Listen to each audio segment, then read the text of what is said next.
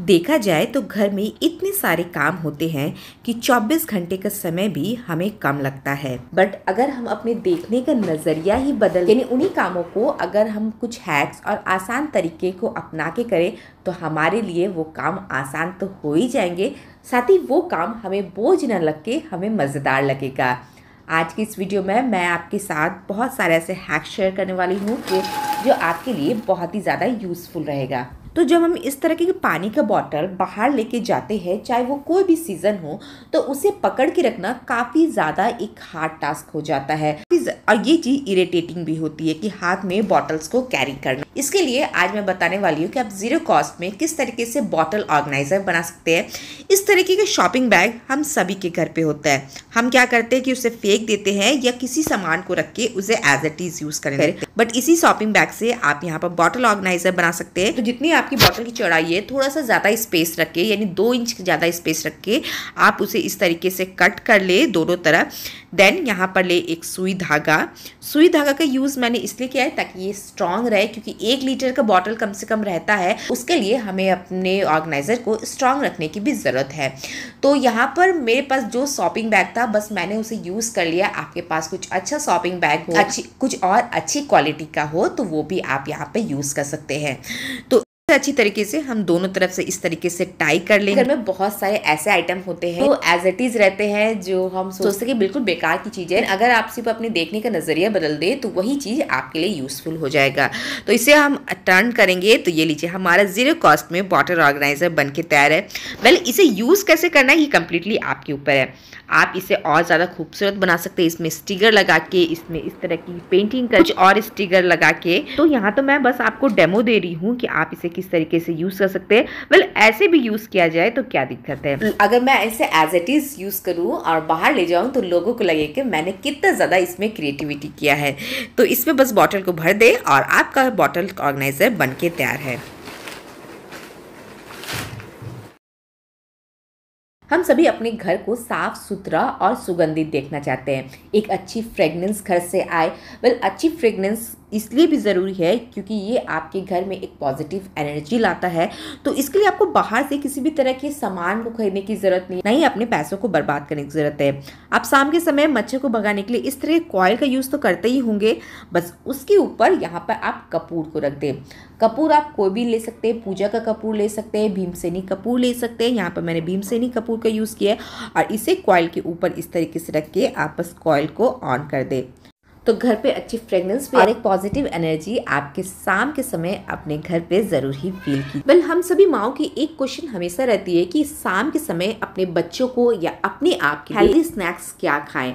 दिन भर तो हमारी एक अच्छा डाइट तो बना लेते हैं लेकिन शाम के स्नैक्स के समय सारा डाइट फेल हो जाता है। इसलिए आज मैं आपके साथ बहुत ही ईजी और बहुत ही हेल्दी एक रेसिपी शेयर करने वाली हूँ जो शाम के स्नैक्स में आप किसी भी टाइम मंचिंग के लिए इसे यूज़ कर सकते हैं। एक बड़े से पैन में यहाँ पर मैंने घी घी का यूज़ किया है। दो चम्मच घी डाला है और इसमें डाला है मखाना। और इसे तब तक हम रोस्ट करेंगे जब तक ये क्रंची ना हो जाए। तो इस तरह के मखाने की रेसिपी मैंने आपके शायद बहुत बारी शेयर की है। नमकीन वाली शेयर की है, लेकिन आज मैं शेयर कर रही हूँ एक मीठी रेसिपी बट इसके लिए मैं शुगर का यूज़ बिल्कुल नहीं करने वाली हूँ। एक दूसरे पैन पे यहाँ पर मैंने वापस एक चम्मच घी डालेंगे बादाम। और इसे भी हम क्रंची होने तक यहाँ पर भूनेंगे। वेल, आज के समय घुटनों का दर्द, हड्डी में कमज़ोरी, ये बहुत ही कॉमन प्रॉब्लम है। अगर आप चाहते हैं कि 40 प्लस आते आते आपको ये सारे प्रॉब्लम बिल्कुल ना आए तो मखाने का यूज़ आप अपने डेली लाइफ में ज़रूर करें। तो मखाना यहाँ पर क्रंची हो चुका है। अब इसमें मैं डाल रही हूँ बादाम। अच्छी तरह से भून लिया है। अब यहाँ पर डालेंगे गुड़। यानी ये पाउडर गुड़ का ये मैंने यूज़ किया ऑर्गेनिक है ये। और बिना चीनी भी आप इसे बहुत ही ज़्यादा टेस्टी बना सकते हैं। फिर तिल डाला है मैंने, ये ऑप्शनल है, अगर आपके घर पे है तो आप इसे यूज़ करें अदरवाइज़ इससे बिना भी ये बहुत ही ज़्यादा टेस्टी लगता है। सारी चीज़ों को अच्छी तरीके से मिक्स करेंगे, गुड़ जैसे जैसे मेल्ट होगा, वो मखाने में कोट होते चला जाएगा और आपकी डिश और ज़्यादा ही टेस्टी बन जाएगी। इससे आप, इसे आप बच्चों को शाम के स्नैक्स में दे सकते हैं टिफ़िन बॉक्स में दे सकते हैं, या किसी भी टाइम अपने मंचिंग में इसे यूज़ कर सकते हैं। टी टाइम स्नैक्स के लिए ये परफेक्ट स्नैक्स है, और इसे आप इंस्टेंट भी बना सकते हैं, या इसे बना के आप स्टोर करके भी रख सकते हैं। ग्रीन टी का यूज़ हम जानते हैं कि हमारे हेल्थ के लिए कितना ज़्यादा अच्छा है वेट लॉस में भी हेल्प करता है बट इसी ग्रीन टी से आप अपने घर के बहुत सारे कामों को आसान कर सकते हैं। हमारे फ्रिज में एक कॉमन प्रॉब्लम ये होती है अगर हम फ्रिज में लहसुन अदरक का पेस्ट रख दे या कभी ऑनियन रख दे तो एक दूसरे में सारी चीज़ों की स्मेल आने लगती है। इस चीज़ से अगर आप छुटकारा चाहते हैं तो ग्रीन टी के बैग में इस तरीके से होल कर ले और उसे आप अपने फ्रिज में रखें। फ्रिज में रखने से क्या होगा कि कोई भी स्मेल एक दूसरे से मिलेगा नहीं और आपकी हर चीज़ हमेशा ही फ्रेश रहेंगे। हमारी किचन का इस तरीके का हालत अक्सर ही हो जाता है जब हम जल्दबाजी में रहते हैं। जब भी जल्दबाजी में रहे, तब तक तो ठीक है, तभी हमें टाइम नहीं मिला। लेकिन जैसे ही आपको टाइम मिले, जैसे ही आपके किचन के काम बिल्कुल ही खत्म हो जाए, सबसे पहले अपने किचन में यूज़ आए सारे सामानों को सही करें। ये एक ऐसी आदत है, ये एक ऐसी आदत है जो लंबे समय तक आपको ऑर्गेनाइज रखने में, आपके किचन को साफ़ सुथरा रखने में काफ़ी ज़्यादा हेल्प करता है। तो आज मैं जब अपने अलमारी में अपने गहनों को, अपने सिल्वर को ज्वेलरी को देख रही थी बेसिकली पूजा में जाना था तो जिसके लिए मुझे पायल की ज़रूरत थी, क्योंकि हमारे यहाँ पायल को पहनना काफ़ी ज़्यादा शुभ माना जाता है। तो देखा, पायल का कलर काफ़ी ज़्यादा डल हो चुका था। वैसे ये कॉमन बात है, अगर हम सिल्वर को खुले में छोड़ दें या ऐसे छोड़ दें तो वो काला पड़ जाता है। बट आप इसे घर पर ही वापस से साफ़ कर सकते हैं, चमकता दमकता बना सकते हैं। एक बड़ा सा आप यहाँ कोई भी पतीला ले लें, उसमें आप इस तरीके का एलमिनियम फॉयल डालें। एलमिनियम फॉयल इस तरीके से आप तोड़ के डाल सकते हैं या इसके बॉल्स बना के भी आप इसमें डाल सकते हैं।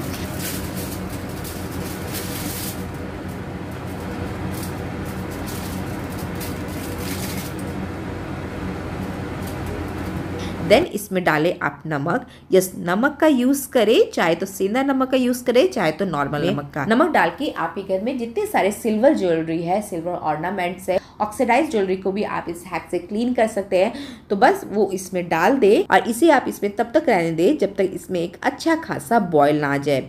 बॉयल आ जाने से क्या होगा? जितनी सारी गंदगी है या या ये सारी चीज़ें हम पैरों में पहनते हैं तो वो गंदे हो जाते हैं। तो वो सारी चीज़ें यहाँ पर बिल्कुल ही क्लीन हो जाएगी। आपको अलग से किसी भी तरह की मेहनत या घिसना नहीं पड़ेगा।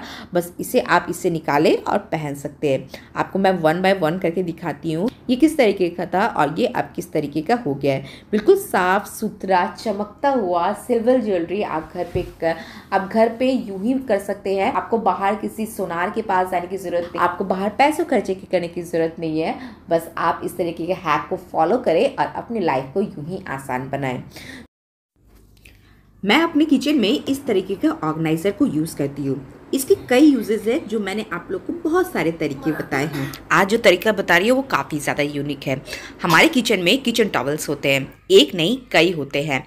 हाथ पोछने के लिए काउंटर टॉप पोछने के लिए अपने बर्तनों वगैरह को साफ़ करने के लिए। तो इसे भी सही तरीके से रखना काफ़ी ज़्यादा ज़रूरी है। सबसे पहले तो आप इसे अच्छी तरीके से फोल्ड कर तरीके से रोल करके जब आप इसे फोल्ड कीजिएगा तो ये बहुत ही ज़्यादा टाइडी लगता है और खूबसूरत भी नज़र आता है। और जब आप अपने सारे किचन टॉवल्स को इस तरीके से फोल्ड कर ले तो रख दे इस ऑर्गेनाइजर में। यस इस ऑर्गेनाइजर का यूज़ आप अपने किचन टॉवल्स को रखने के लिए यूज़ कर सकते हैं। काफ़ी ज़्यादा क्लीन लुक आता है आपका किचन हर वक्त ऑर्गेनाइज लगेगा और आपके किचन का फ्रेश टॉवल आपको हमेशा ही रेडी वेल पीताम्बरी का यूज़ अभी तक आपने अपनी पूजा के ब्रास के कासे के पीतल के बर्तनों को साफ़ करने के लिए यूज़ किया होगा। बट आप इसे अपने किचन में भी बहुत तरीक़ों से यूज़ कर सकते हैं। जैसे आप यहाँ पर देख सकते हैं कि ये मेरा सिंक है जो काफ़ी ज़्यादा गंदा हो गया है। इसे अगर मैं नॉर्मल तरीके साफ़ करूँ तो काफ़ी ज़्यादा घिसना पड़ेगा प्लस मेहनत अलग। तो इसके लिए ना तो हम अपना मेहनत लगाएँगे ना तो अपनी टाइम को वेस्ट करेंगे। सिंपल से पीताम्बरी का यूज़ करेंगे। इसे पहले अच्छी तरीके से स्प्रेड कर ले। चारों तरफ़ अच्छी तरीके से इसे डालें और इसके बाद आप एक स्क्रबर लेके इसे रब कर ले। रब करने से क्या होगा कि इवनली सारी जगह ये पीताम्बरी लग जाएगा और इसे पाँच मिनट तक एज एट इज़ छोड़ दें। एंड यस जब भी मैं पीताम्बरी का यूज़ करती हूँ, अगर मैं खाली हाथों से करूँ तो मुझे हाथों में ईचिंग की प्रॉब्लम हो जाती है, इसलिए हमेशा मैं ग्लव्स का यूज़ करती हूँ, क्योंकि ये रिएक्शन करता है और इसलिए मैं प्रेफर करूँगी कि आप भी ग्लव्स का यूज़ करके पीताम्बरी वगैरह का यूज़ करें। पाँच मिनट के बाद सिंपल पानी से जब आप इसे वॉश कीजिएगा तो देखिएगा कि ये बिल्कुल चमकदार आपका स्टील का सिंक देखने में लगेगा और ये क्लीन होने के साथ साथ बैक्टीरिया फ्री भी है। देखो आपने बिना किसी मेहनत का बिना किसी एफर्ट दिए हुए हम अपनी चीज़ों को कितने ज़्यादा ईजी बना सकते हैं। वही सारी चीज़ें जो रोज़ाना हमें परेशान करती है लेकिन हम इसका सही तरीका नहीं जानते हैं। So that's all for today अगर आपको मेरी ये सारी वीडियो पसंद आई हो तो जाते जाते इस वीडियो को लाइक ज़रूर करें। अपनी फैमिली एंड फ्रेंड्स तक इस वीडियो को ज़रूर क्योंकि ये कम्प्लीटली फ्री है। चलिए मैं प्रिया आप लोग से फिर से मिलूँगी न्यू वीडियोज़ के साथ यूज़फुल वीडियोज़ के साथ। तब तक के लिए बाय बाय